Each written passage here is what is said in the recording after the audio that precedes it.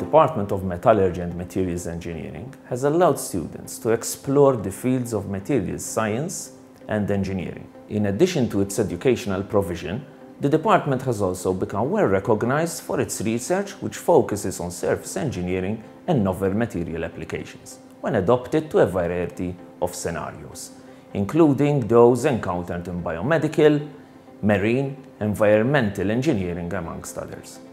Our researchers have persistently been able to attract research funding, which together with other local and European capital investment has allowed us to invest in our laboratories.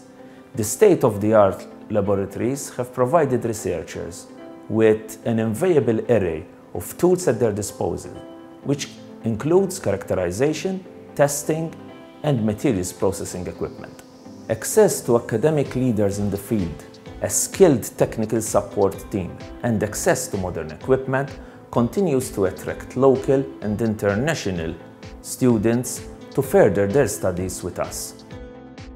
As always, we look forward to new challenges, new partnerships and new projects.